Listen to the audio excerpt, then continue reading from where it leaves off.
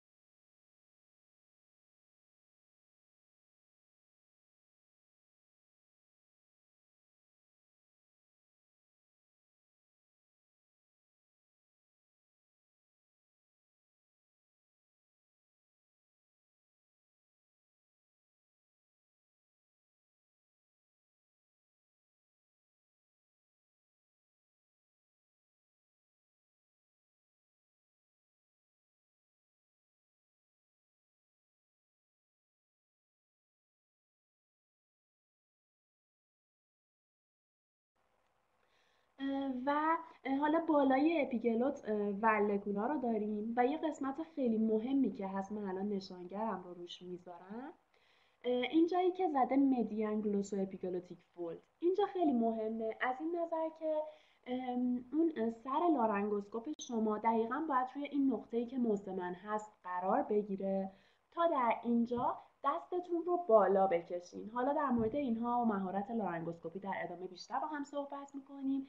اما این شکل رو مد نظرتون داشته باشین که تیغ لارنگوسکوپ ما دقیقا باید اینجا قرار بگیره اپیگلوت رو بالا بکشه و ما بتونیم یه ویو, یه ویو خیلی خوبی از تراشه و vocal cord ای بیمار داشته باشیم که تحت دید مستقیممون لوله رو از اینجا رد کنیم.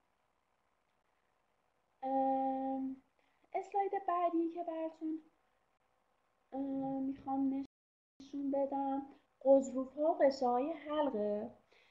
که حالا همونطور که توی تصویر می‌بینین این قسمت که تیرویده من نشانگرم رو روشن کنم. این قسمت قضروف تیروید هست که بزرگترین قضروف هنجر است. همونطور که می‌بینین بزرگترین قضروف هنجر است. این قسمت که زده لارنجیال پرومیننس برجستگی حلق اینجا در واقع همون Adam's apple سیب آدم که میگن برجسته ترین نقطه ای که توی گردن آدم ها قابل لمسه. و خب این landmark از این نظر از نظر پیدا کردن تیروید از نظر یه سری block هایی که توی حنجره انجام میشه و برای cricothyrotomy و اینها همه این landmark ها خیلی مهم هستن. زیر غضروف زیر غضروف تیروید غضروف کریکوید رو داریم. این قسمت. من نشانگرم رو روش بذارم. این قسمت این قضروف کریکوید هست. و این فضایی که بین تیروید و کریکوید قرار داره که زده کریکوتایروید لیگامنت اینجا قرار داره این اون فضاییه که برای دسترسی اورژانسی راه هوایی توی گردن که حتما شنیدین کریکوتایروتومی از این مسیر استفاده میشه. حالا همونطور که قبلا هم اشاره کردم از توضیح دادن موارد بیشترش واقعا برای تسهیل و راحت تر شدن فهمش. می‌خوام که خودداری کنم. نکات مهمش رو می‌خوام تو ذهنتون بسپرین. و ایشالله که توی بالین به دردتون بخوره و برای انجام یه airway management موفق کمکتون کنه. حنجره هم با اپیگلوت شروع میشه و قضروف کریکوید هم حد تحتانی هنجره است که در محاذات شیشمین مهره گردن از پشت قرار داره. بنابراین هنجره ما با اپیگلوت که اینجاها هست شروع میشه و حد تحتانیش هم کریکوید هست یعنی به کریکوید ختم میشه. در ادامه اینکه ما بیمار رو وقتی که نیاز داره که براش راه هوایی برقرار کنیم یه سری معاینات احتیاجه که انجام بدیم. در درجه اول اینکه راه هوایی رو کلا برای چه مریضایی نیازه که باز نگه داریم برقرار کنیم؟ مریض عادی که داره خودش تنفس تنفس خود به خودی داره و مشکلی نداره سچوریشنش بالاست هوشیاره می‌تونه راه هواییشو باز بلع موفق داره سرفه داره اگر که جسم خارجی وارد بشه می‌تونه با سرفه دفع کنه. این مریض که هیچ مشکلی از نظر راه هوایی نداره. ما واسه مریضایی که کاهی سطح هوشیاری دارن به خصوص سی زیر 8 و 9 دارن. که نمی‌تونن اینا راه هواییشون رو باز نگه دارن. بلع خوبی ندارن. نمی‌تونن آسپیریشن براشون یه اتفاق اجتناب ناپذیره ما در مورد اونا باید راه هوایی رو حتما حفظ کنیم. در مورد بیمارایی که تروما بودن. به هر دلیل حالا یا تروما به سر و گردن داره یا تروما به قفسه سینه داشته یعنی به قدری حالا سنگین بوده یه پنوموتوراکس شدیدی براش ایجاد کرده یه هموتوراکس شدیدی ایجاد شده و مریض نمی‌تونه تنفس عادی داشته باشه.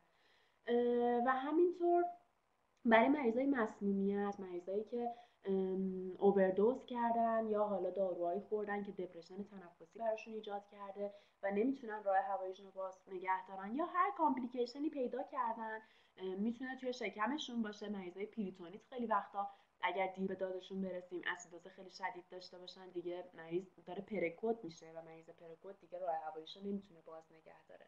و البته خب مریضای پرکود و مریضایی هم که نیاز به سی پی آر دارن که قطعا ما باید راه هواییشون یا از قبل باز شده یا ما باید تلاش کنیم که باز نگه داریم. حالا برای این بیمارا وقتی بالا سرشون حاضر میشیم یه سری ارزیابیایی باید انجام بدیم که ببینیم وسیله چی می‌خوایم چی کار می‌خوایم براشون انجام بدیم. اصلا آیا امکان پذیر هست که ما بتونیم توی اون بخش یا حالا اورژانسی که هستیم بیمار رو براش راه هوایی برقرار کنیم یا نیاز داره که بیمار راه هوایی دشوارش رو مثلا تخمین زدیم و نیاز داره مریض بره اتاق عمل براش راه هوایی باز بتونن راه هواییش رو بتونن باز کنن. حالا معایناتی که انجام میدیم چیاست؟ این مواردی که توی این جعبه 44 که البته من بگم که من همه شکلا و این box ها و اینها رو از کتاب میلر 2020 تهیه کردم که رفرنس بیهوشی هست. احتمالا باش آشنایی داشته باشیم. در مورد معاینه راه هوایی اولین چیز اینه که ما گردن بیمار رو مشاهده کنیم. ببینیم توی صورتش اصلا ترومایی وجود داره یا نه دفورمیتی وجود داره یا نه. توده وجود داره توی صورتش آثار سوختگی داره یا نه گردنش کوتاه پهنه. مثلا پهنای گردن اگه بالای 43 سانتی متر باشه می‌تونه یه معیار difficult intubation باشه یه معیار راه هوایی دشوار باشه. یا اینکه اصلا collar گردنی داره یا نه. مثلا اگه collar داشته باشه خب ما محدودیت داریم توی extension سرش. نمی‌تونیم کامل سرش رو extend کنیم مثلا برای لارنگوسکوپی. باید به این چیزا حتما دقت کنیم. اینکه فک پایینش عقب باشه. عقب بودن فک پایین هم یه نشانگر خیلی مهمه که می‌تونه احتمال دشوار بودن راه هوایی دیفیکالت اینتوبیشن رو برای ما مطرح کنه. و اینکه حالا توی مشاهده سر و گردن رو می‌بینیم و اینها این مواردی که گفتم رو ارزیابی می‌کنیم.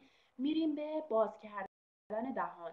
از بیمار می‌خوایم که دهانش رو تا جایی که می‌تونه کامل باز کنه.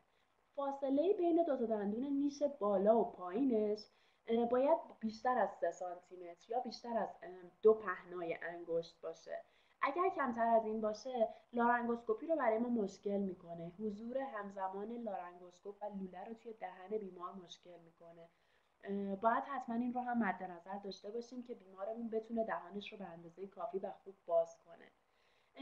آناتومی حفره دهان رو و وضعیت دندانهای بیمار رو ببینیم. به خصوص تو بچه ها اگر دندون لق دارن ممکنه با لارنگوسکوپی ما با گذاشتن لولمون این دندون لق بیفته و اگر دقت نکنیم ممکنه همون دندون لق رو بیمار آسپیره کنه. باید حتما به خصوص حالا توی بچه ها و توی افراد مسنی که دندون مصنوعی دارن یا نه. همونطور که می‌دونید دندون مصنوعی فضای باز شدن دهان رو فوق العاده محدود می‌کنه و شما یهو لارنگوسکوپ میندازین توی دهنش می‌بینین که اصلا دندوناش داره جدا میشه و جلوی دیدتون رو کامل می‌گیره. بنابراین با یه شرح حال خوب قبلش یا یه معاینه خوب قبل از اینکه بخواین کاری انجام بدین می‌تونین جلوی این کار رو بگیرین خیلی مهمه که range of motion گردن رو ببینیم که گردن چقدر حرکت می‌کنه. مجموع flexion گردن و extension گردن باید بالای تقریبا 80 درجه باشه. و اگر زیر این باشه یه معیاریه که برای اینکه بیمار range of motion خوبی تو گردنش نداره و شما توی لارنگوسکوپیش به مشکل می‌خورید. یه نکته دیگه اینه که فضای زیر فکش رو معاینه کنید. ما دو تا فاصله مهم داریم از نظر معاینه راه هوایی توی بیمارا. یه دونه فضای thyromental فاصله تیروئید تا فک پایین. یه دونه هم sternomental فاصله این notch استرنوم تا فک پایین.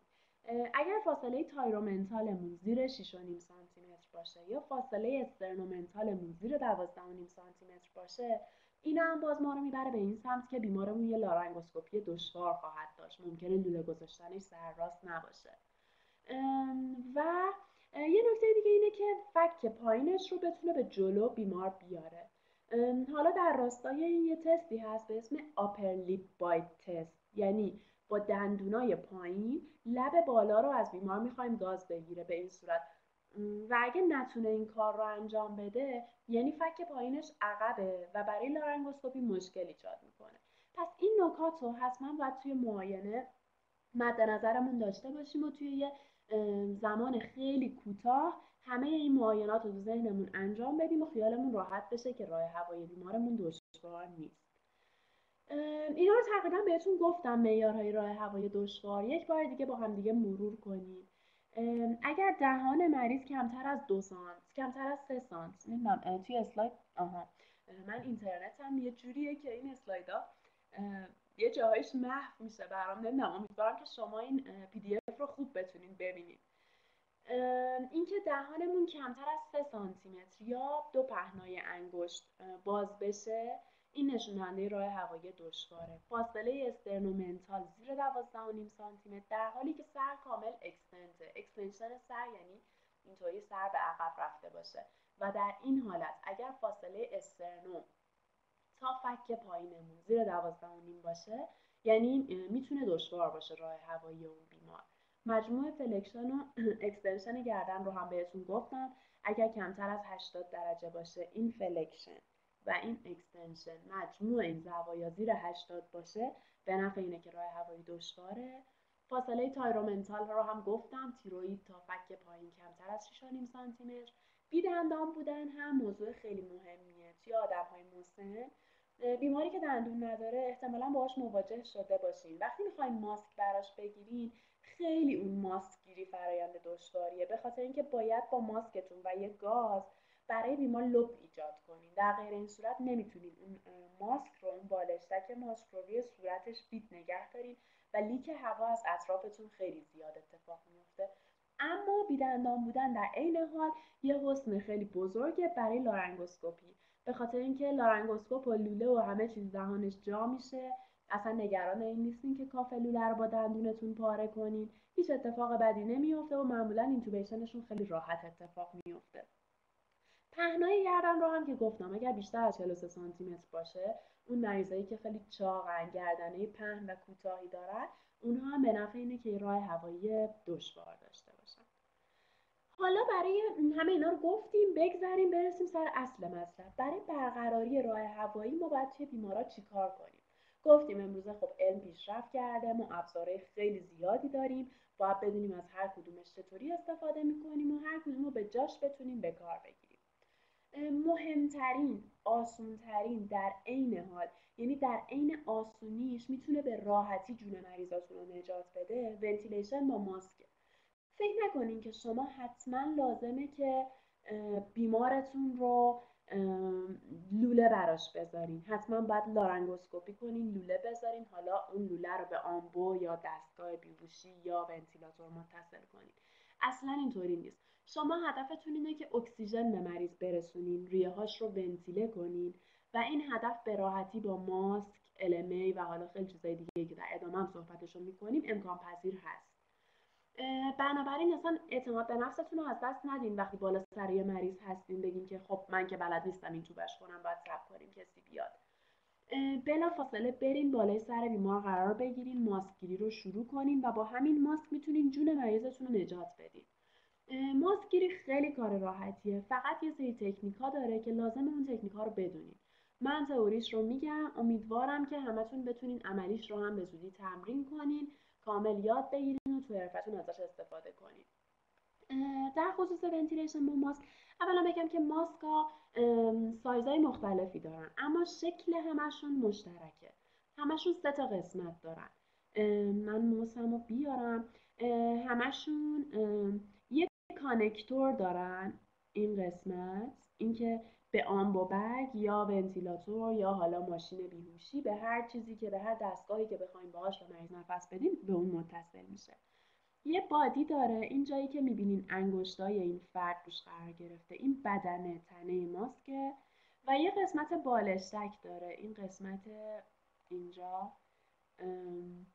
ببینین یه بالشتکیه که با هوا پر میشه یعنی یه جایی داره که با سرنگتون می‌تونین توش هوا تزریق کنین.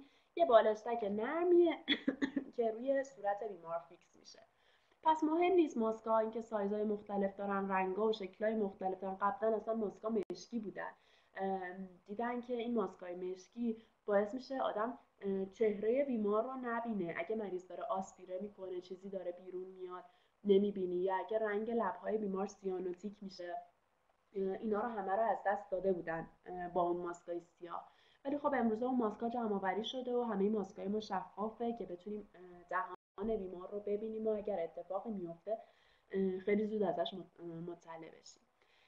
و اما برای گرفتن ماسک دو تا کار میشه انجام داد. یا یک دستی یا دو دستی.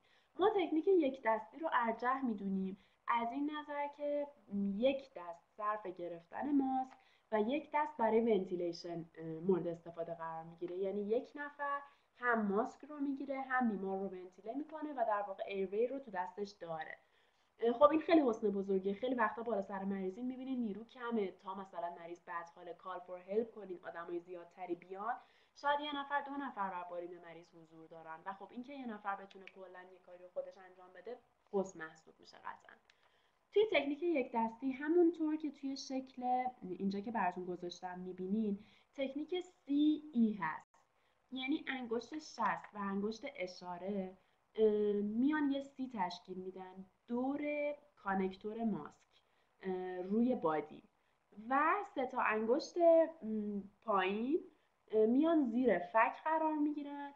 کار این سه تا انگشتی که پایین قرار می‌گیرن بالا کشیدن سر jaw thrust دادن اون مانوری که لازمه که راه هوایی رو باز نگه داره. اگه شما در حالت عادی ماسک واسه یه بیمار بذارین fit fit اصلا هیچ leak هوایی هم توش اتفاق نیفته.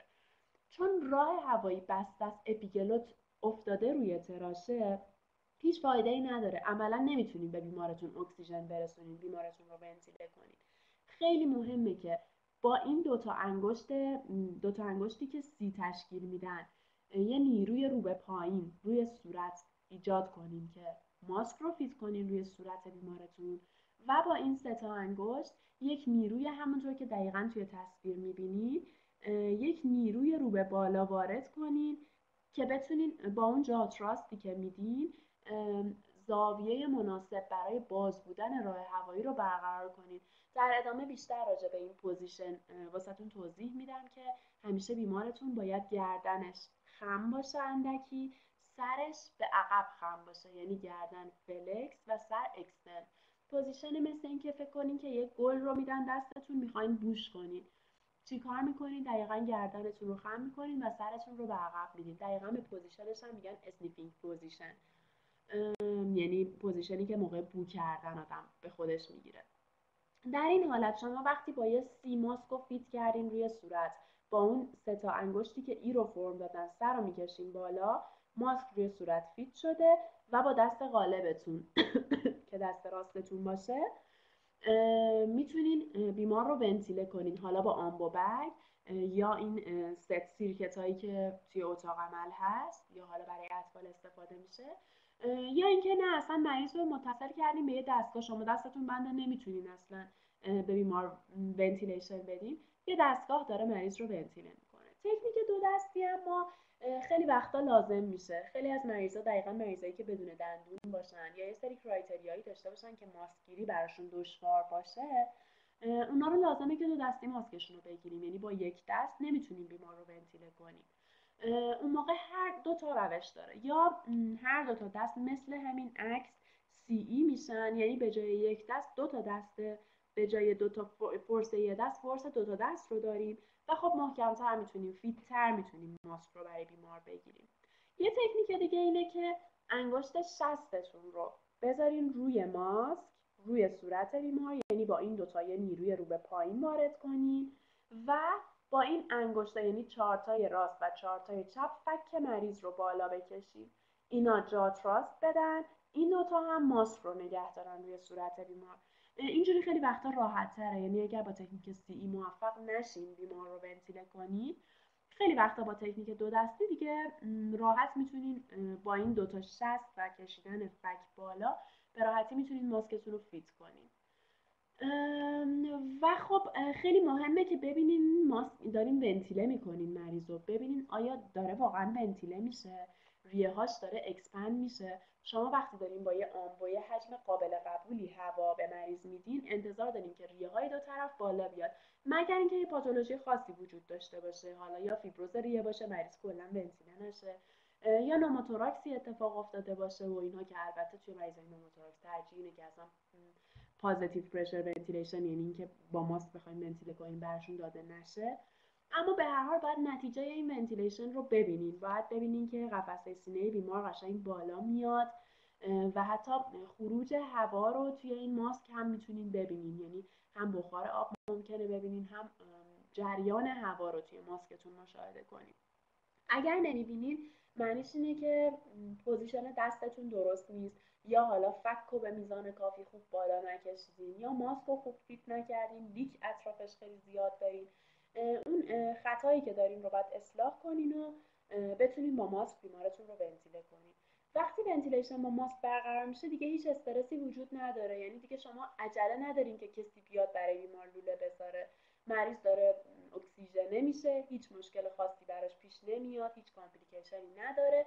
تنها ریسکی که هست اینه که خب با اون هوایی که داریم وارد معده می‌کنیم ریسک aspiration رو بالا می‌بریم وگرنه راه هوایی بیمار برقراره و جای نگرانی نداره. airway رو هم حتما دیدین و باشون کار کردین. البته فکر می‌کنم بیشتر oral ش رو دیده باشین. airway دهانی. ایروی نازال یا بینی هم داریم که مقدار بلندتر و حالا صافتر هست. اینا خیلی وقتا کمک می‌کنن. وقتی که شما ماسک گرفتین اما می‌بینین قفسه سینه بالا نمیاد یعنی ونتیلیشن بیمار رو مشاهده نمی‌کنین.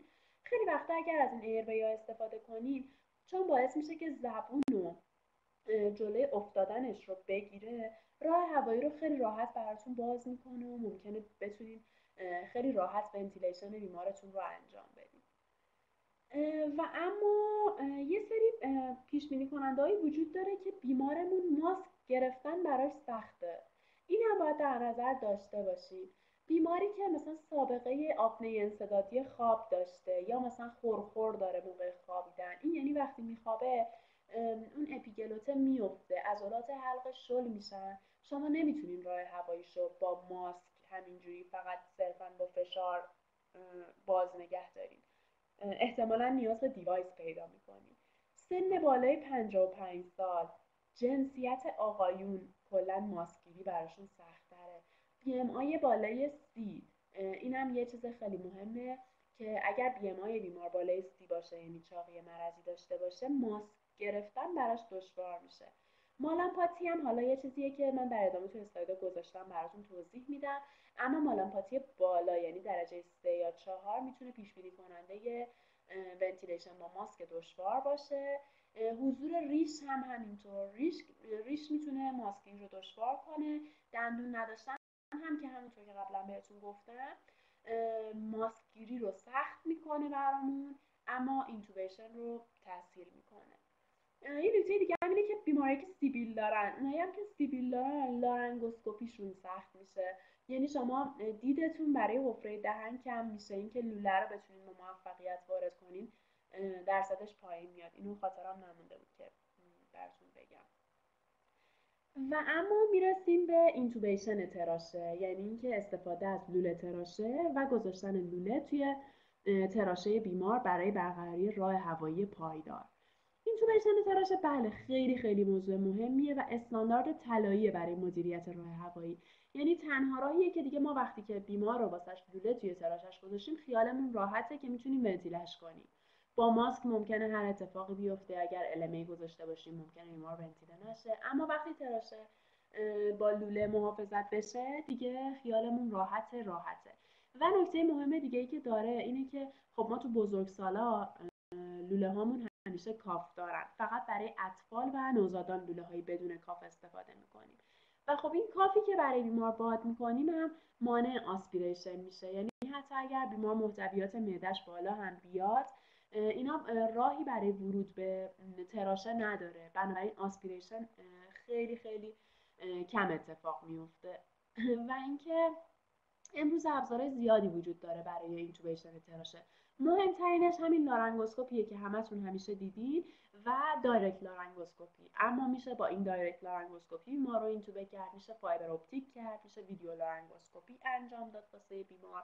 میشه اصلا retrograde بیمار رو اینتوبه کرد همه اینها وجود داره اما شایع ترینش که حالا ما خیلی باش سر کار داریم لارنگوسکوپی مستقیمه. لوله تراشه بر اساس سایز قطر داخلیشون ID internal diameter تقسیم میشن شماره گذاری میشن. و خب اینم خیلی مهمه که بدونید برای خانم ها سایز لوله هفت مناسبش برای آقایون هفت و نیم یا هشت. پس توی خانم ها با هفت این تو بکنین توی آقایون با هفت و نیم یا هشت. و اینکه خیلی وقتا حالا مثلا ممکنه پیش بیاد خانمی وجود داشته باشه که جستش خیلی بزرگ باشه. واسه لوله هفت و نیم بذارین. یا یه آقایی وجود داره با آکرومگالی انداماش خیلی بزرگن مشکل هیپوفیز داره و اونم مثلا شاید لازم باشه لوله هشت و نیم براش بذاریم. اما به طور کلی چیزی که روتینه سایز روتین لوله خانم ها هفت و آقایون هفت و نیم یا هشته. عددی که لوله رو روش fix می‌کنین هم مهمه. به خاطر اینکه ما می‌خوایم که این لوله تراشه که برای بیمار می‌ذاریم وارد برونش راست نشه. حالا یا احیانا چپ گرشه که راست مستقیم تره یعنی یه جایی دقیقا توی تراشه باشه. از کارینا عبور نکنه. سایزی که توصیه میشه عددی که توصیه میشه برای خانم ها آقایون لوله تو برده بشه توی خانم ها 21 و توی آقایون 22 تا 23 هستش. و خب دقت کنید که واقعا بیشتر از این تو نره به خاطر اینکه ممکنه که فقط اونطوری ریه راستتون ونتیله بشه و ریه چپتون ونتیله نشه وان لانگ ونتیلیشن داشته باشین. یه نکته دیگه این که خیلی بیرون نباشه. اگر خیلی بیرون باشه مثلا ممکنه که کافتون رو روی تارای صوتی بیمار باد کنید و خب این در طولانی مدت می‌تونه آسیب بزنه به تارهای صوتی. نه خیلی کمتون باشه و نه خیلی زیاد. از طرفی فشار این cuff هم خیلی مهمه. خب دیدین cuff ای indicator ی بیرون داره که با سرنگ توش هوا می‌زنیم ما معمولا 10 سی سی هوا تزریق می‌کنیم و قوام اون indicator رو چک می‌کنیم. گفته میشه که قوام اون indicator لوله باید مشابه قوام عضله thenar تون باشه. اینجا رو لمس کنین می‌بینین قشنگ یه فضایی باید توش وجود داشته باشه. اگه خیلی پر بادش کنین به بیمار آسیب میرسونه. هم به مخاط تراشش آسیب میرسونه. هم به vocal cord ش آسیب میرسونه. و حالا گذشته از اینها برای بیماران ICU خیلی موضوع مهمیه این فشار cuff. چون اینا طولانی مدت معمولا اینتوبه هستن و اگر که رعایت نکنیم با مقدار خیلی زیادی هوا پر کنیم قطعا آسیب می‌زنیم به بیمار. حالا توی ICU ها معمولا چک میشه این فشار و باید در حد 25 سانتی متر آب نگه داشته بشه.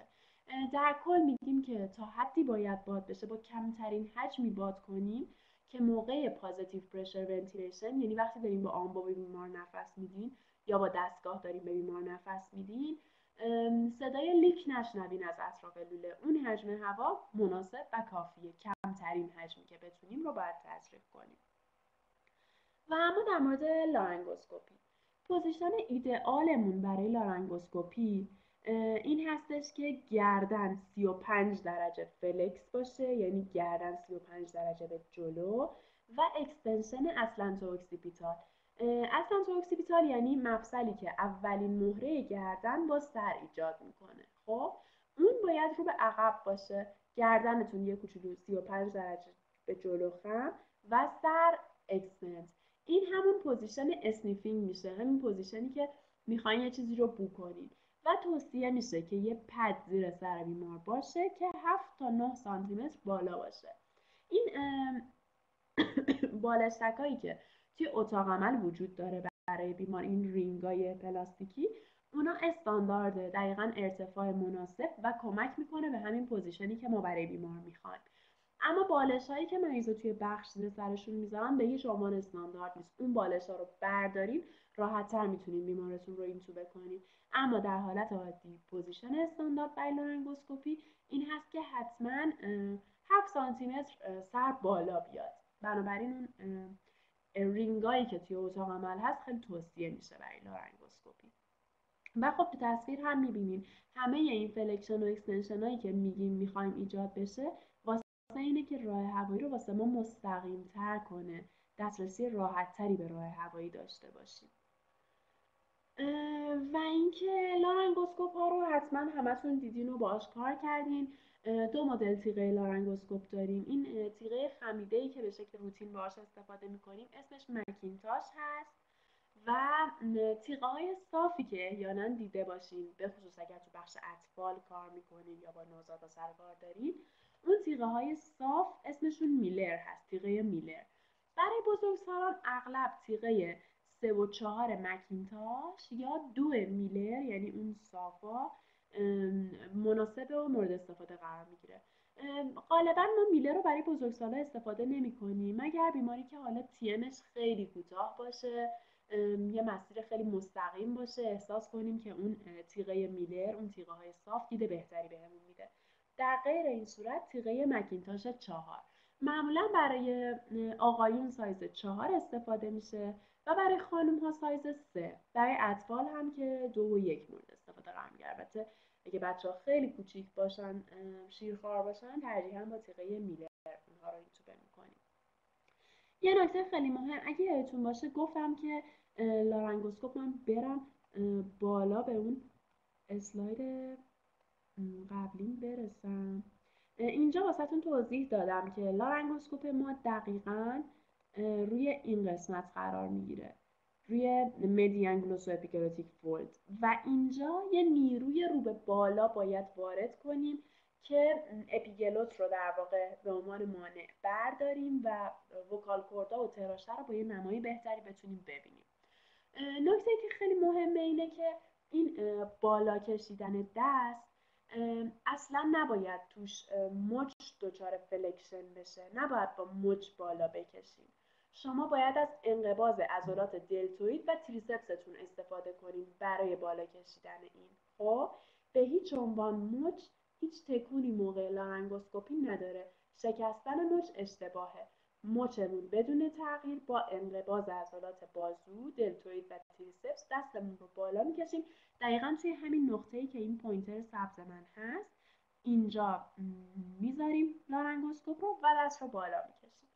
در مورد لارنگوسکوپی اینه که خب لارنگوسکوپ رو دیدیم یه تیغه فلزی جسم فلزی سخت و سنگین که می‌تونه به مخاط نرم و آسیب پذیر بیمار واقعا آسیب برسونه.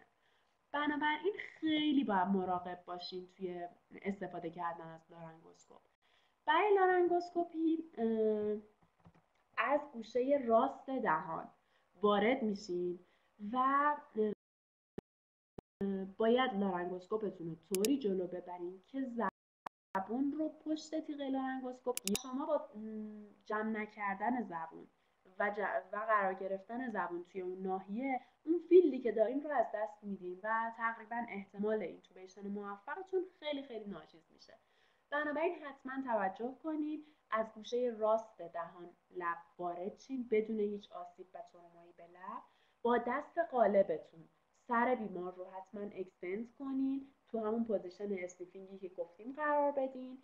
که واسهتون لارنگوسکوپی راحت تر باشه و لارنگوسکوپ رو خیلی آروم سر میدیم روی مخاط. هیچ نیرویی هیچ force ی وارد نمی‌کنیم.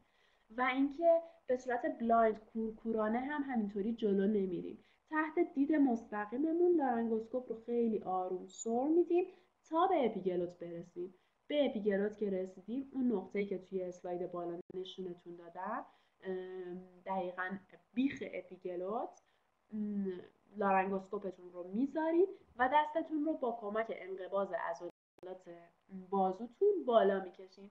اونجا با اون مانور بالا کشیدن دست یه دید خیلی خیلی خوب از تراشه و وکال کورد پیدا می‌کنید و تحت دید مستقیمتون لوله رو رد می‌کنین. چیزی که خیلی مهمه حتما دیدین خیلی وقتا میان مریض رو اینتوبه کنن توی اون شرایط استرس دارن. حالا مثلا واقعا می‌خوان که سریعتر کار انجام بشه و انگار که این لوله دارن باهاش شخم می‌زنن گردن مریض رو حلق مریض رو. خیلی مراقب باشین. لوله درست پلاستیکیه اما می‌تونه آسیب بزنه زخم می‌کنه اصلا حفره دهان و کام و اینها رو واقعا زخم می‌کنه اگر باهاش با ملایمت با عطوفت برخورد نشه. لوله رو مثل یک مداد. اگر این فکر کنین که لوله است حالا من معذرت می‌خوام دسترسی به لوله نداشتم اینجا. لوله رو از بالاش می‌گیریم از بالاش. خیلی به اشتباه از وسط می‌گیرن از نزدیک پایین می‌گیرن. اصلا این کار رو با لوله نکنین. دید خودتون رو کم می‌کنه مهارت خودتون رو کم می‌کنه. لوله رو از بالاترین قسمتی که می‌تونین از اون قسمتی که لوله کانکتور داره که به دستگاه وصل میشه. از اون قسمت لوله رو مثل یک مداد نرم بگیرین لارنگوسکوپی کردین زبون جلوی دیدتون نیست دستتون هم بالا کشیدین یه ویو خوب دارین. این لوله رو همینطور آروم سر بدین. موقعی که دارین لوله رو از دندون مریض رد می‌کنین مراقب باشین. اگه مریض دندونای نوک تیزی داشته باشه دندوناش خراشیدگی داشته باشه می‌تونه قشنگ کاف لولتون رو پاره کنه. حتما حتما ببینین. یعنی حول این نشین که حالا من دارم اون فضای تراشم رو می‌بینم از اینجا غافل بشم. اول با دید مستقیمتون لوله رو از دهان و دندان رد کنین. در ادامه ته حرف رو نگاه کنین و زیر دید مستقیمتون لوله رو خیلی راحت رد کنین. یه نکته ای که هست اینه که حتما قبل از اینکه بخواین لوله تراش رو واسه بیمار بزنین کافش رو امتحان کنین. خیلی کم خیلی نادر ولی پیش میاد که کاف از کارخونه که میاد لولهه با اینکه نوع و هیچ مشکلی براش پیش نیومده اما کافش سالم نیست و خوب باد نمیشه. اینو با یه چک کردن ساده ده سی هوا بزنین ببینین کاف پر میشه و بعد این ده سی هوا رو تخلیه کنین قبل از اینکه بخواین لوله بذارین این خیلی کمک می‌کنه که جلوی همچین اشتباهی گرفته بشه. و اینکه توصیه میشه که لوله از انتهای دیستالش فکر کنید این سریه که داره به دستگاه بس میشه این سریه که داره تو مریض توی تراشه مریض میره.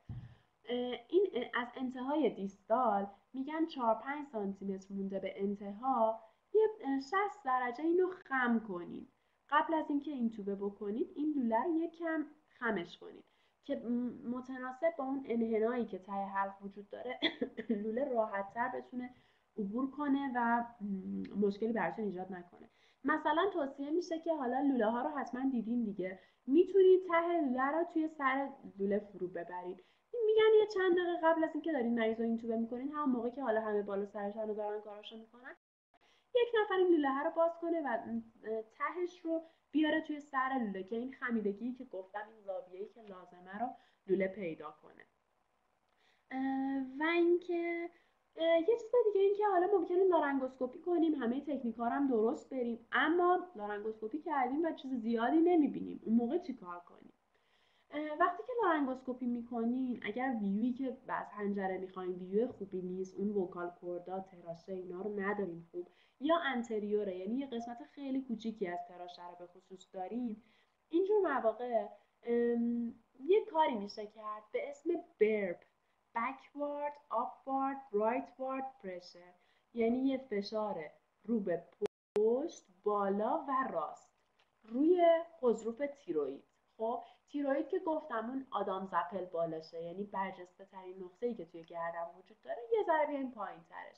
اونجا یه فشار رو به پشت بالا و راست ایجاد کنیم. خب با این فشار خیلی وقتا ویدیو لارنگوسکوپی خیلی خوب میشه. حالا اول شما این فشار رو با دست راست خودتون ایجاد می‌کنید یعنی شما این که دارین لارنگوسکوپی می‌کنید دست چپتون لارنگوسکوپه دست راستتون رو می‌ذارین روی تیروید و این فشار رو ایجاد می‌کنید می‌بینین که ویوتون چطوری بهتر و مناسب تره توی همون شرایطی که به ویو خوب رسیدید به دستیارتون که کنارتون هست میگین که دستش رو همونجا بذاره که شما گذاشتید و نیرو وارد کنه. شما دستتون آزاد میشه که لوله رو بتونین زیر دید مستقیمتون بذارید یه نکته خیلی مهمه دیگه اینه که مریضای ترومایی خیلی وقتا خب پیش میاد collar گردن دارن. ما از وضعیت گردنشون مطمئن نیستیم. وضعیت اورژانسیه باید حتما airway ش رو برقرار کنیم. نمی‌تونیم برای تصویر برداری مریض رو بفرستیم و باید مریض اینتوبه بشه. گفتیم که برای intubation برای لارنگوسکوپی ما باید سر بیمار رو extend کنیم. و خب توی بیماری که ترومای به گردن داشته سر داشته ما اصلا اجازه نداریم همچین کاری رو بکنیم. اینجور مواقع چی کار می‌کنیم؟ یه دستیار باید داشته باشیم که سر و گردن رو برای ما fix نگه داره که ما اجازه نداشته باشیم extend کنیم. سر و گردن همکارمون fix می‌کنه. ما لارنگوسکوپی می‌کنیم. با مختصر extension با کمترین حالت ممکن که بخواد برای بیمار مشکل ساز بشه بیمارمون رو intubate می‌کنیم. پس این نکته هم حتما داشته باشین. اگه یه بیماری ترومای سر گردن داشت حتما یک دستیاری احتیاج دارین یه aid ی احتیاج دارین که سر گردن رو براتون fix کنه و شما لارنگوسکوپی انجام بدین. در مورد تایید قرارگیری لوله تراشه توی تراشه. این هم خیلی موضوع مهمیه. حالا ما مریض لارنگوسکوپی کردیم و لوله گذاشتیم. از کجا معلوم که لوله رو تو معده نذاشتیم؟ بهترین و ماهرترین و زبده ترین متخصصای بیهوشی که دیگه مدیریت راه هوایی بلدن واسهشون اتفاق افتاده که لوله توی معده گذاشتن و خب واقعا اتفاق بدی نیست پیش میاد. فقط باید بفهمین اون موقع که مریض رو اشتباه لوله رو توی معده می‌ذاریم توی مری می‌ذاریم مهم اینه که بفهمیم. بنابراین ما بعد از اینکه مریض رو لارنگوسکوپی کردیم لوله گذاشتیم خب دیگه نمیگیم که خب لوله گذاشتیم و دیگه تموم شد.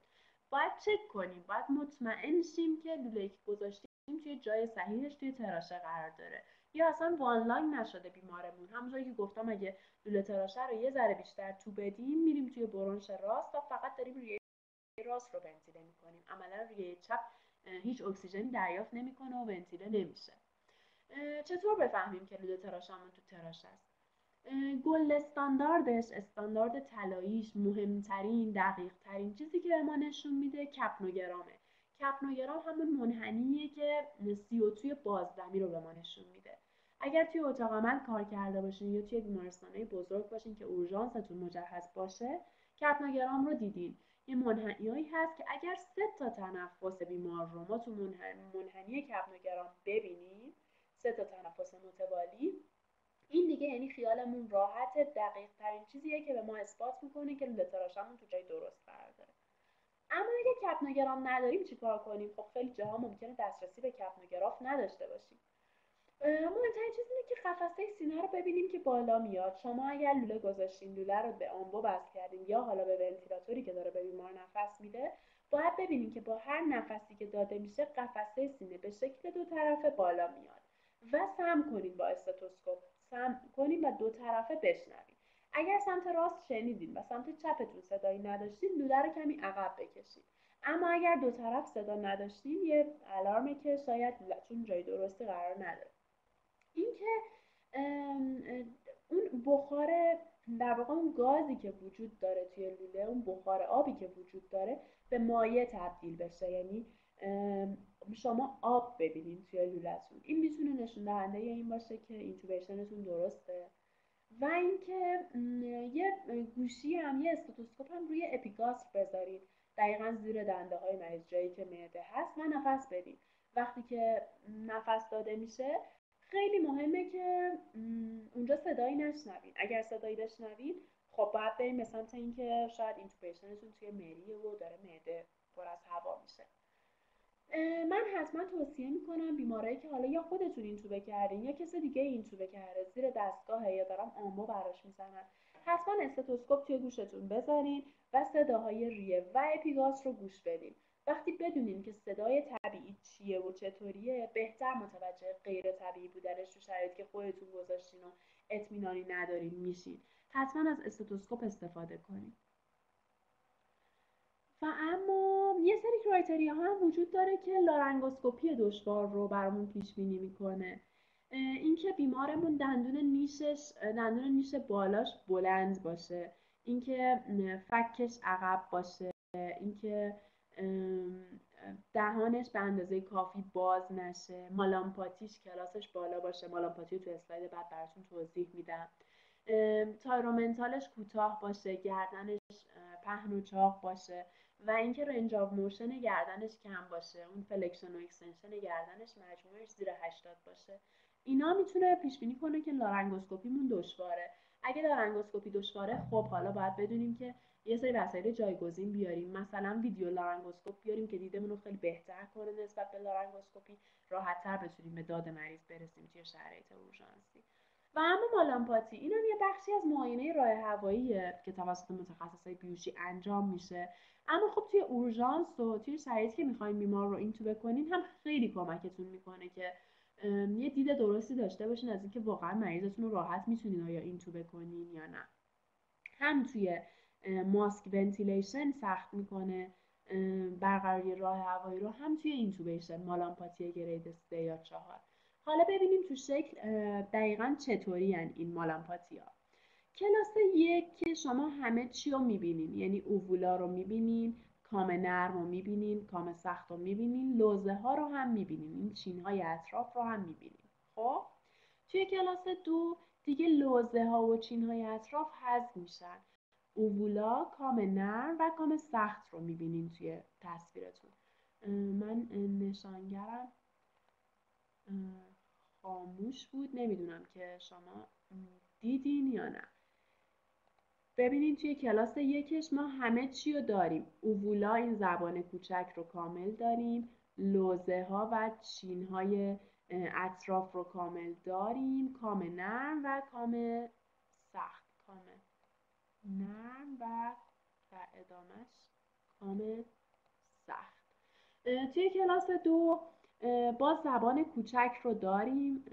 همونطور که می‌بینیم زبان کوچک رو داریم. و کام نرم و کام سخت رو هم داریم. اما این اطراف دیگه لوزه ها و چین ها رو نمی‌بینیم توی ویومون توی کلاس سمون دیگه خیلی شرایط سخت میشه. ما فقط base زبان کوچک رو می‌بینیم base زبان کوچک رو اینجا می‌بینیم و البته کام نرم توی کلاس چهار دیگه هیچی نمی‌بینیم. یعنی حتی کام نرم هم راحت دیده نمیشه. کام سخت دیده میشه. زبان کوچک رو نمی‌بینیم. کام نرم رو هم نداریم. حالا این مالامپاتی کلاس سه و چهار دقیقا مرتبطن با سخت بودن ماسکگیری و سخت بودن intubation راه هوایی دشوار برای بیمار. حالا این مالامپاتی رو ما چطوری باید چک کنیم؟ دو حالت داره. یا به بیمار میگیم که تو حالت نشسته صاف بشینه و سرش در حالت خونسا باشه. یعنی نه راست نه چپ نه عقب نه جلو. سر در حالت خونسا. و ازش می‌خوایم که دهانش رو باز کنه. دهان رو باز کنه زبانش رو بیرون بیاره و هیچ صدایی هم تولید نکنه. توی این شرایط دهانش رو باز کرده و شما معاینه می‌کنین ببینین که ته حفره دهان و حلقش چی می‌بینید. یه حالت دیگه هم بعضی توصیهشون اینه که تو وضعیت extension کامل سر این کار رو انجام بدین. یعنی مریضتون دراز کشیده و تو حالت درازکش شما سرش رو extend کنین و ببینین که چی می‌بینید. خب این واسه ما راحت تره چون اکثرا مریضامون رو تخت نشستن یا معاینه راحت تر داریم. البته که تو position نشسته هم می‌تونید بگین سرشون رو کامل extend کنن به عقب و بعد معاینه کنیم پس مالامپاتی رو توی دو تا position چک می‌کنیم. یا بشینه سر در حالت خونسا زبانش رو بیرون بیاره و صدا تولید نکنه یا سر در حالت extension کامل باشه. و اما موارد جایگزین لارنگوسکوپی چیه؟ اینا هم تو صحبتام گفتم. حالا هم لارنگوسکوپی غیر مستقیم هست. هم اسکوپ های انعطاف پذیر مثل fiber optic در اختیارمون هست video laryngoscope و intubation retrograde. یه چیزی که خیلی خوبه و به کمکمون اومده light stylet ها هستن.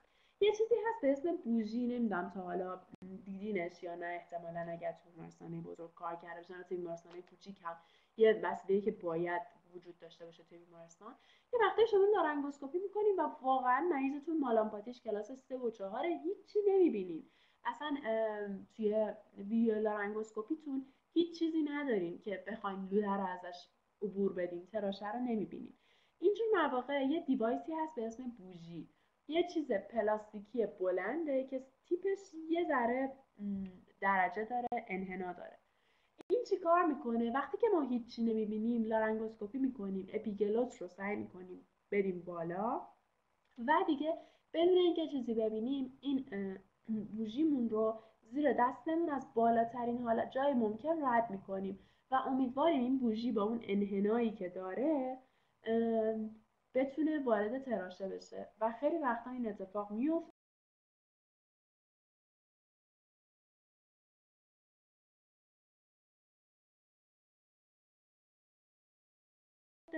بعد لوله رو از اون بوژیه رد می‌کنیم. در لوله بوژی های تکنولوژی پیشرفته تری که اومده این لایت استایلت ها هستن. یه سری هم یه سری بوژیایی اومده که خودش سرش کانکتور داره. دیگه نیازی نیست لوله داشته باشین واسه بیمار. لوله بذارین از این بوژی به عنوان گاید استفاده کنین خود این بوژیه وصل میشه به دستگاه یا آمبو و می‌تونه به مریض نفس بده. یعنی توش فضای خالی داره. گرچه که خیلی تنگه یعنی کوچیکه.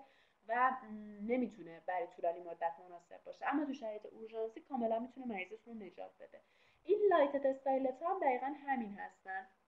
یه سری device شبیه bougie سرش نور داره و همینجوری می‌تونی blind رد کنی و امیدوار باشی که تونستی بیمار رو اینتوبه کنی بعد حالا باید در ادامه حتما چک بشه که intubation درست بوده یا نه. و اما در مورد preoxygenation ما این برای حالتیه که حالا یا توی اتاق عمله که ما می‌خوایم به مریض دارو بزنیم تنفسش رو هوشیاریش رو رفلکس های راه هواییش رو همه چیزش رو بگیریم و بعد اینتوبش کنیم. یا برای حالتی اتفاق میفته که مریض توی بخشه و استیبله اونطوری نیست که بگی همین الان باید اینتوبه بشه نفسش گسبه یا اصلا آب نس نفس نداره. preoxygenation واسه مریضیه که خودش می‌تونه نفس بکشه. saturation ش خوبه فرضاً مریضتون saturation بالا داره خوبه قابل قبوله. اما GCS ش هشته. می‌دونی مثلا ممکنه آسپیره کنه این مریض. اینو می‌خوای اینتوبه کنی این مریضا رو حتما preoxygen باید بکنیم preoxygenation چطوریه؟ باید یه ماسک facial واسه بیمار بذاریم. واسه این ماسکای facial رو اشتباه نکنیم با اون facial mask ی که واسه مریض می‌ذاریم که supplemental oxygen میده. یه ماسکی که روی صورت بیمار fit بشه همین ماسکایی که ما برای بیهوشی همین بالا هم ماسکی رو واسه توضیح دادم از اون ماسکا که کامل fit میشه روی صورت. اون ماسک رو با flow ی 10 تا 12 لیتر بر دقیقه برای بیمار بذاریم و سه دقیقه ازش بخواین که تنفس عادی داشته باشه.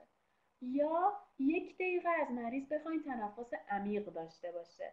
یعنی 8 تا نفس عمیق رو توی یک دقیقه بکشه در حالی که با flow ی 10 تا 12 لیتر بر دقیقه با اون ماسکا متصل به اکسیژن داریم بهش نفس میدیم داریم بهش اکسیژن میدیم زمان مناسب برای preoxygenation از 3 تا 9 دقیقه متغیره هدفش چیه؟ در حالت عادی ما توی ریه هامون نیتروژن هم داریم دیگه. گاز نیتروژن داریم توی ریه هامون توی هوا هست توی ریه های ما هم هست. ما هدفمون اینه که اون اون نیتروژن اون نیتروژنی که توی ریه بیمار وجود داره رو با اکسیژن جایگزین کنیم. برای چی می‌خوایم این کار بکنیم؟ برای اینکه ممکنه مریض لارنگوسکوپیش طول بکشه. ممکنه لارنگوسکوپی کنیم به خاطر اون ترشحاتی که پشت حلق داره هیچی نبینیم نیاز داشته باشیم ساکشن کنیم. ممکنه وسایل دم دستمون نباشه یهو احساس کنیم که چیزی نیست و کمه. مثلا لارنگوسکوپیمون طول بکشه مهارت کافی نداشته باشیم یا بیمارمون. دشوار باشه راه هواییش. اینجوری زمان داریم برای خودمون می‌خریم. به بیمار یه اکسیژن خوب میدیم ریه‌هاش رو full می‌کنیم از اکسیژن نیتروژنش رو هم می‌گیریم که یه time بیشتری داشته باشیم برای اینکه بتونیم راه هوایی براش برقرار کنیم. خیلی توصیه میشه. میگم خیلی جا شاید جاشا نداشته باشیم. مثلا وقتی بالا سر یه مریض که مریض آپنه کرده یا مثلا بالا سر یه مریض کد هستیم pre-code هستیم تو اینجور مواقع هیچ جایگاهی نداره. فقط واسه مواردیه که فرصتش رو داریم که این کار رو انجام بدیم. البته که مریضای pre-code رو هم که میرین بالا سرشون خیلی وقتا می‌تونین با ماسک و Ambu bag واقعا بهشون نفس بدین saturation شون رو بالا نگه دارین چند دقیقه که زمان بخرین. اگر مهارت کافی ندارین توی intubation هنوز من به شدت توصیه می‌کنم که این کار رو انجام بدین که زمان بیشتری داشته باشین برای اینکه لارنگوسکوپی و ساکشن بخوایم بکنین بیمارتون رو. در مورد aspiration محتویات معده خیلی مهمه. ما داریم مریض, مریض ما نیاز به راه هوایی اورژانسی داره. ما می‌خوایم راه هوایی براش برقرار کنیم. ممکنه مریض هرچی که خورده رو بالا بیاره. و خب این بالا آوردن برای جون مریض خطرناکه. از این نظر که اسیدیته مواد اسیدیته اون محتویات معده به شدت پایینه. خیلی اسیدیه و اگر وارد ریه بشه می‌تونه باعث نومونیت بشه. می‌تونه آسیب برسونه به ریه. و خب آسپریشن دیگه همتون می‌دونین و درگیرش هستین توی بیمارتون واقعا ما تمایل داریم که برای بیمار اتفاق نیفته. اما مریضمون از طرف شکمپره. مریضی که تروما داشته داشته می‌رفته سر کارش حالا تصادف کرده یا تو جاده بوده تصادف کرده هر چیزی. خب نمی‌دونسته که NPO time ش رو رعایت کنه. هم شاید یه ساعت قبلش هم یه چیزی خورده. حالا ما چیکار کنیم که ریسک این aspiration رو به حداقل برسونیم؟ در درجه اول که زمان ناشتایی رو باید در نظر داشته باشیم.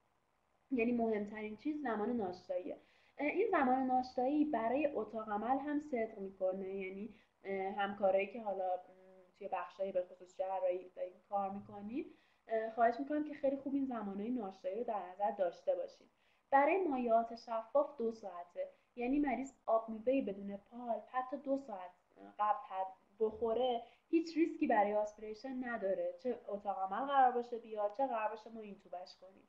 مایعات شفاف. پس هیچ اشکالی نداره. شیر جزء مایعات شفاف نیست. شیر غذا محسوب میشه. آب میوه‌ای که pulp دارن و اینها هم نیستن.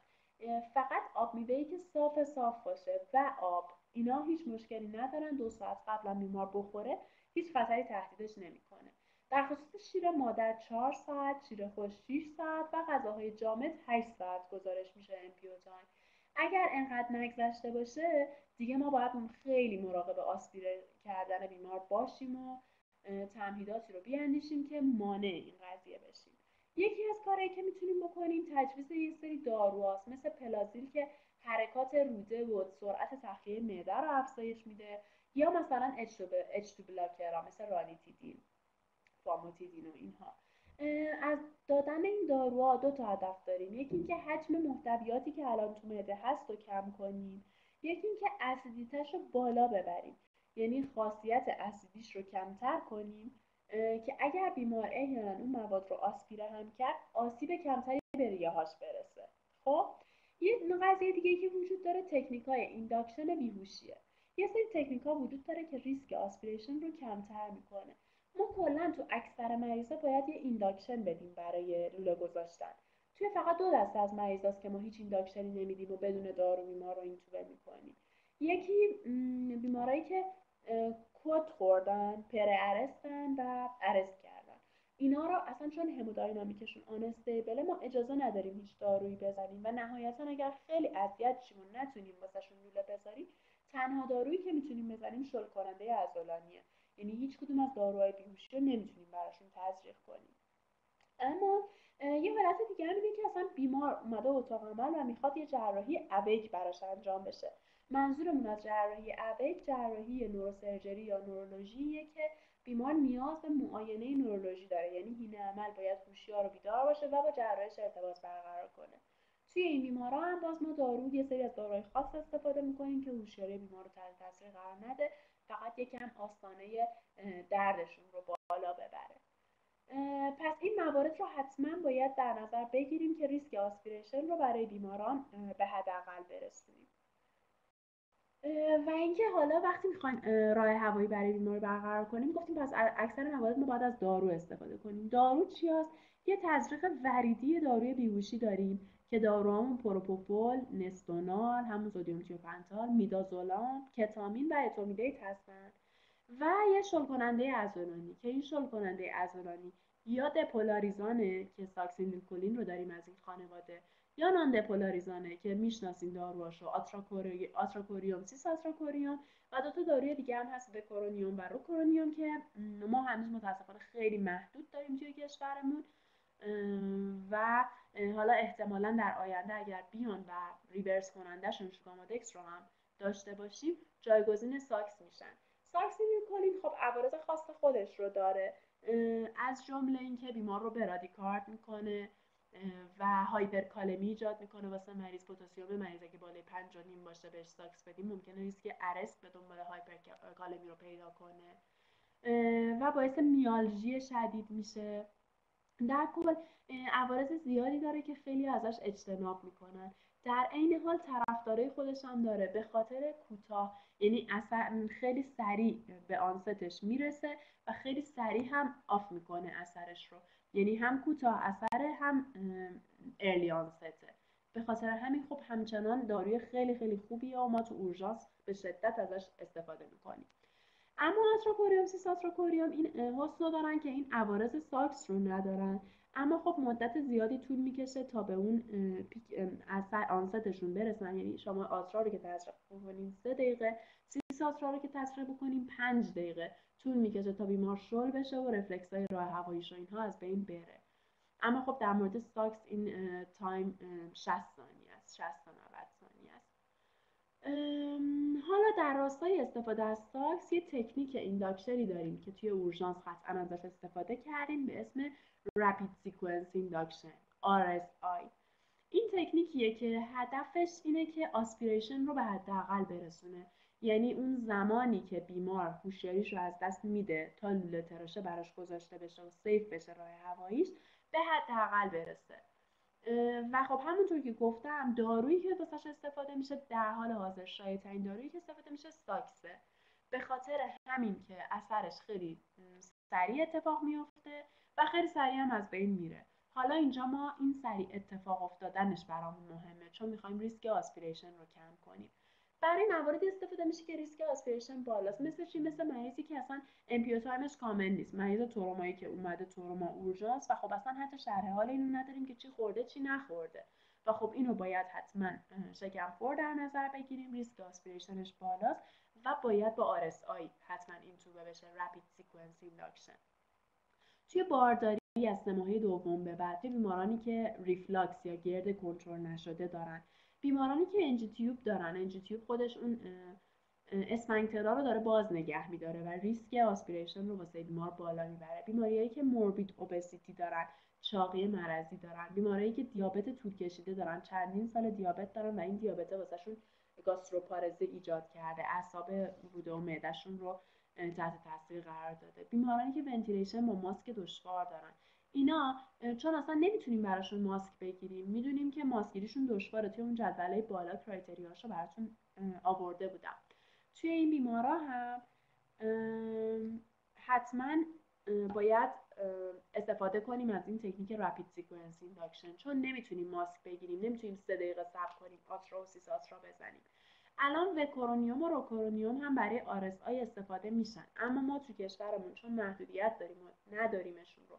به خصوص خیلی گرون هستن همچنان روش ارجحمون همون استفاده از ساکسه اما این rapid sequence induction خیلی موضوع مهمیه چون اکثر مریضایی که توی اورژانس یا بخش یهو نیاز به intubation پیدا می‌کنن باید به این طریق اینتوبه بشن.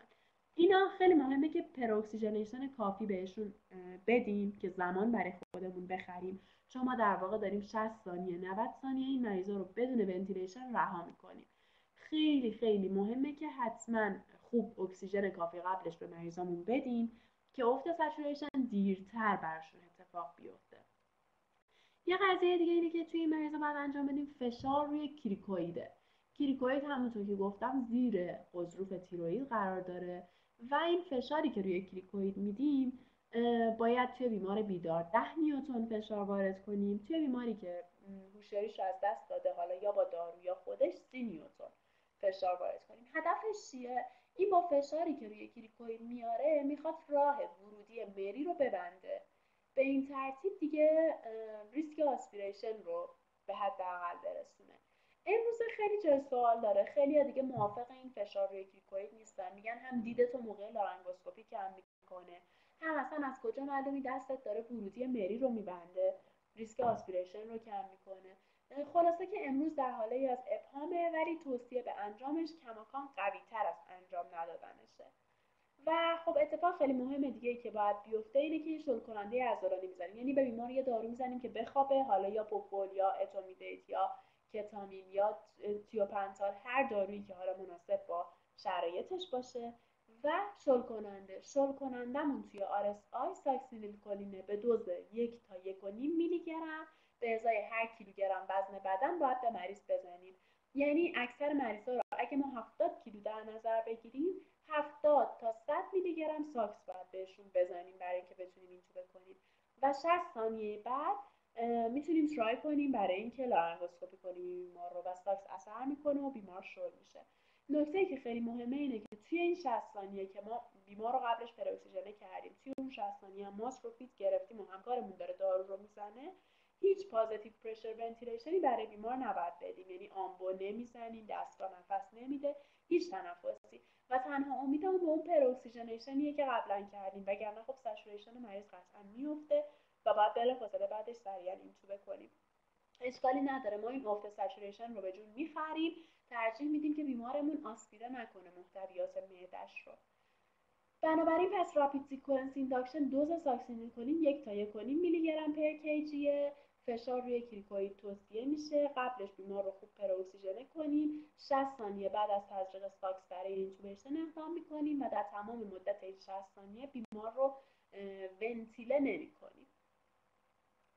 و اما حالا گفتیم گفتیم که راه هوایی رو با ماسک می‌تونیم برقرار کنیم می‌تونیم برای مریض لوله بذاریم. حالا چیکار کنیم اگر هیچ کدوم از اینا امکان پذیر نبود؟ چیکار کنیم اگر نتونستیم هیچ کدومش رو انجام بدیم؟ این فقط برای موارد اورژانسیه. یعنی ما به شکل اورژانسی خواستیم راه هوایی رو برقرار کنیم نتونستیم ماسک خواستیم بگیریم. بیمار ونتیله نشده سچوریشن افتاده. تلاش کردیم برای اینتوبیشن موفق نبوده. از یه فرد متبهر خواستیم بیاد اونم تلاش کرده نتونسته. اینجور مواقع چیکار می‌کنیم؟ یه دسترسی اورژانسی به راه هوایی از قدام گردن باید ایجاد کنیم. دسترسی ها رو می‌دونین. یا تراکوستومیه یا cricothyrotomy ه یا jet ventilation ه. تراکوستومی که مخصوص اتاق عمله. اتاق عمل و حالا توی ICU بر بالین بیمار که PT انجام میشه. تراکوستومی رو کنار بذاریم. دو تا مورد اورژانسی که داریم. jet ventilation و cricothyrotomy ه jet ventilation تمهیدات خاص خودش رو می‌خواد که با یه فشار کمی داره یه flow ی رو به بیمار میرسونه از یه مسیر باریکی. از طریق یه needle که توی گردن وارد میشه وارد تراشه میشه با aspiration هوا متوجه میشیم که تو تراشه ایم و نهایتا اتصال میدیم اینو به یک connector ی که داره و برای بیمار jet ventilation برقرار میشه به عنوان یه راه موقت تا یه راه اساسی براش پیدا بشه. اما cricothyrotomy یه چیزی که تو اورژانس خیلی خیلی باش مواجه میشیم. اگر نتونیم راه هوایی برقرار کنیم باید بیمار رو cricothyrotomy کنیم. و اما کلا این سه تا روش تراکوستومی کریکوتایروتومی و جت ونتیلیشن وقتی میریم سراغش که گفتم راههای دیگه موفق نشدیم راه هوایی پایدار با راههای دیگه برای بیمار ایجاد کنیم. یا اینکه بیمار یه توده حنجره داره یا یه انسدادی تو راه هواییش داره که تلاش برای راه هوایی مطمئنیم که ناموفقه و مجبوریم از این راه اقدام کنیم. مثلا بیماری که توده حنجره داشته باشه. در خصوص کریکوتایروتومی این راه حل اصلا دائمی نیست. صرفا یه راه حل اورژانسه و برای مریض برقرار می‌کنیم که راه هواییش برقرار بشه. اگر به اون نیاز داشت در ادامه به تراکوستومی تبدیل میشه. اگر نیازش مرتفع شد این رو کلا برمیداریم. یعنی چیزی نیست که دائم بیمار براش بمونه کریکوتایروتومی یه سری کنتراندیکاسیون داره. توی کودکان زیر 6 سال به هیچ عنوان کریکوتایروتومی به خاطر آناتومی هنجره نباید انجام بشه. توی شکستگی هنجره توده هنجره تنگی سابگلوت توی تنگی سابگلوت تنگی این زیره. تو بیا اینجا رو هم سوراخ کن و بخوای هوا بدی. وقتی تنگی این زیره عملا هیچ فایده ای نداره و هیچ ایروی برای بیمار نمی‌تونید برقرار کنید توی بیماری که کوآگولوپاتی داره نقص انعقادی داره. یعنی اگه برش بدی نمی‌تونی خونریزی رو ممکنه کنترل کنی. و توی بیمارانی که آناتومی گردنشون به هم ریخته است و ممکنه قابل پیش بینی نباشه که اصلا با برش شما چه اتفاق میفته و کجا رو برش دادین و کی به تراشه می‌رسین توی این موارد اینا کنتراندیکاسیون هستن نباید کریکوتایروتومی انجام بشه. در سایر موارد اگر بیمارتون نیاز اورژانسی به راه هوایی داره می‌تونید از طریق کریکوتایروتومی هم اقدام کنید. و اما اسلاید آخر من عکس یه المه کلاسیک رو براتون گذاشتم. این المه خیلی وقتا نجات دهنده جون آدما میشه. گفتیم مریض با ماسک ونتیله می‌کنیم ممکنه ونتیله نشه. تلاش می‌کنیم برای اینتوبیشن ممکنه نتونیم اینتوبه کنیم این المه یه چیز خیلی ساده است. یه چیزیه که هم استفاده کردن و گذاشتنش ساده است. مهارت خاصی نداره. هم خودش یه وسیله ارزون و در دسترسه. همه اتاق عملا دارن. اورژانس هم اگه درخواست داده باشن قطعا تونستن از اتاق عملشون بگیرن و توی ترالیشون بذارن. برای مواردی که نمی‌تونید واسه مریض کاری بکنین برای مواردی که ماسک جواب نداده ونتیله نکرده بیمارتون رو. و اینتوبه هم نتونستین بکنین یا اصلا intubation بلد نیستین. اصلا بلد نیستین مریض رو لارنگوسکوپی کنین. این LMA رو به راحتی می‌تونین تو دهن مریض بذارین و با این مثل لوله تراش سرش connector داره که به Ambu bag یا حالا ماشین بیهوشی وصل میشه و می‌تونین بیمارتون رو ونتیله کنین. چند تا نکته داره. اولا که سایز بندی داره. از یک تا شیش روی همه همه بسته بندی هاش سایزی که باید استفاده کنین رو نوشته. بسته به وزن بیمارتونه. مثلا بیماری که سی تا پنجاه کیلو سایز سه پنجاه تا هفتاد سایز چهار و بالای هفتاد سایز پنج بالای هم که سایز 6 استفاده میشه. سایزهای روتینی که حالا توی بزرگسال خانم آقایون استفاده میشه سایز 3 و 4 برای اطفال هم که سایزهای کوچیک‌ترش. تو هر سنی قابل استفاده است خیلی راحت عدد روش رو نوشته مثلا روی سایز 3 نوشته وزن 30 تا 50 کیلوگرم و حتی مقداری که کافش رو هم باید باز کنیم روش نوشته شده. شما سایز مناسب و بسته به وزن تخمینی بیمارتون انتخاب می‌کنین. روی این بالشتکش رو یک مقدار ژل لیدوکاین می‌زنین که این راحتتر به عنوان لوبریکنت عمل کنه راحتتر بتونین توی حفره دهان تکونش بدین. و خیلی راحت انگشتتون رو زامن می‌کنین با بالشتک به تو هل میدین ته حلق میپیچونینش. دو تا راه داره. یا اینکه می‌تونین به شکل لترال از گوشه راست مثل لارنگوسکوپ به شکل لترال وارد دهن بشین و ته حلق رو 90 درجه بچرخونین که این بالشتک صاف ته حلق بره قرار بگیره. یا اینکه نه با انگشتتون همون اول با همون زاویه که قرار ته حلق قرار بگیره اینو هول بدین تا ته حلق انگشتتون رو تا ته باید باهاش ببرید و وقتی تو جای مناسب قرار بگیره مشخصه. اصلا گردن مریض رو لمس کنین اینو می‌تونین توش ببینید و cuff ش رو باید باز کنین. سایز 3 رو با 20 سی سی سایز 4 رو با 30 سی سی. حالا اینا رو هم روش نوشته و البته اینا حدودیه. یعنی باید ببینین که بیمارتون باهاش ونتیله میشه یا نه. این LMA رو هم به عنوان یک گزینه که همیشه می‌تونه نجات دهنده باشه مد نظرتون داشته باشین و اگر تونستین تو شرایط غیر اورژانسی استفاده کردن ازش رو مهارتش رو کسب کنید که بتونید تو شرایط اورژانسی با موفقیت ازش استفاده کنید تموم شد موضوعمون. خیلی متشکرم از توجهتون. خسته نباشید باز هم تاکید می‌کنم که راه هوایی احتیاج به یه دوره عملی در کنار دوره تئوریش داره. تئوری در همین حدی که من گفتم می‌تونه خیلی خیلی کمک کننده باشه براتون. در کنارش حتما سعی کنین که آموزش بالینیش رو هم توی مرکزی که کار می‌کنین ببینین که انشالله بتونین ازش استفاده کنین. خسته نباشید میگم و به خدای بزرگ میسپارمتون.